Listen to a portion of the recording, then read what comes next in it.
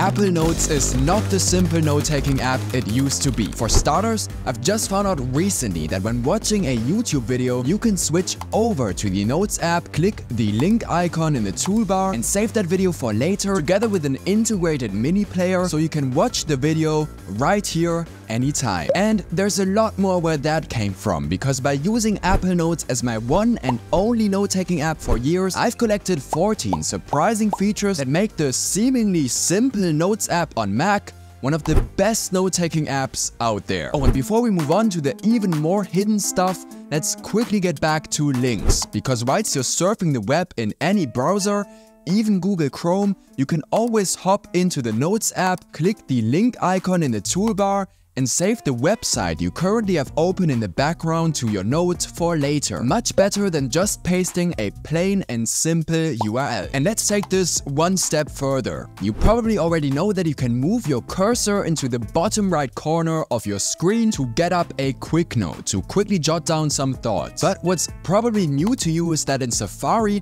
you can highlight any text, right-click and choose Add to Quick Note. Now this blew my mind.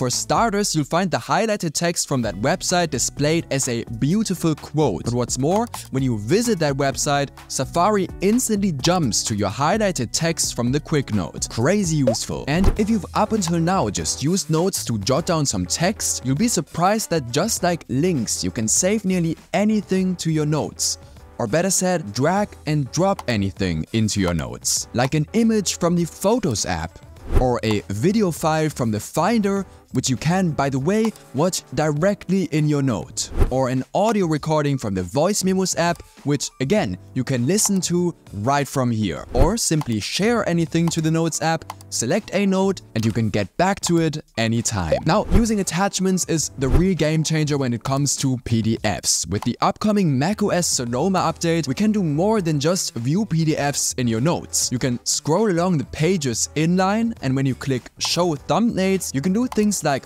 rotating pages or even adding another existing PDF from your files, some images, and then fuse all those files together to one single PDF right from within the Notes app. What's more, we can click Markup to get a whole range of annotation tools exactly like when opening a PDF in the Preview app. Very cool. Even more so because you can easily digitalize physical paper documents using your iPhone or iPad. While it's in a note, click the image icon in the toolbar and if your iPhone is within reach, you should see it here. Choose Scan Documents, which will instantly trigger a pop-up camera on your iPhone. This will automatically detect the edges of any sheet of paper you put in front of it, and when you're done, you'll find the scanned document as a PDF inside of your note on your Mac. Oh, before I forget, let me just mention that all those documents are fully searchable. So you can't only search for keywords from within your notes, but also for keywords in those PDFs and even the handwritten ones you've scanned in. Or before even opening the Notes app,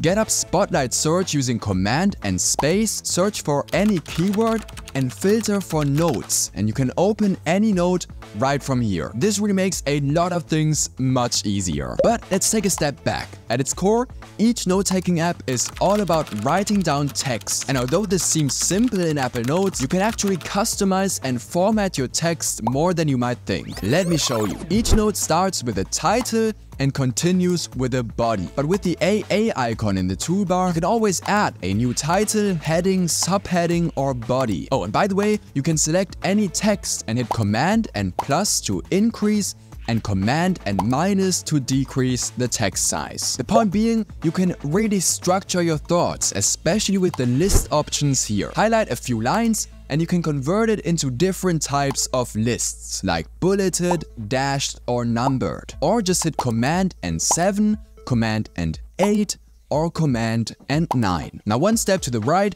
we've got the checklist option. For any point, you can hit the tab key to indent it. What's more, you can actually tick those points and those are then automatically sorted to the bottom of your checklist. You can enable this sorting feature in the Notes settings right here by ticking automatically sort checked items. And it's good that we've landed here because you can change a couple of default settings like your preferred text size for each note or if notes should be sorted by date edited, date created, or title in each and every folder. And speaking of folders, I've just recently discovered that you can drag and drop any folder onto another folder to create a subfolder. You can then hide or expand those, making them quite useful for archiving notes. And when creating a new folder, you can always check make into smart folder. This means your notes will automatically be sorted there when they meet the criteria you select, like if they contain checklists, attachments, or a specific tag. And on that note,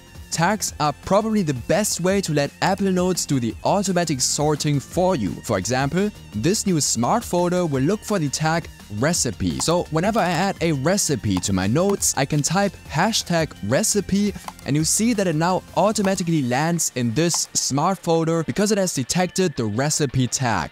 It's as easy as that. Speaking of which, within each folder, you can use your trackpad to swipe right on an important note to pin it to the top of the folder. Or with your mouse, simply right click and select pin note. Now, by default, each photo shows us our notes in a long list. But if you've got a lot of attachments like images or PDFs, you might prefer the gallery view, which shows you a larger preview of each note's content. You can then double click a note to open it in full screen. And I'm honest with you, I'm tired of typing out all those notes, so I just let ChatGPT take over for once. Mm -hmm. That's quite useful. And I know what you're thinking, wait a sec. How did he get ChatGPT to type natively in any app on his Mac? Well, you will find out if you watch this video next. Alright, I will see you there, thank you so much for watching and have an amazing day.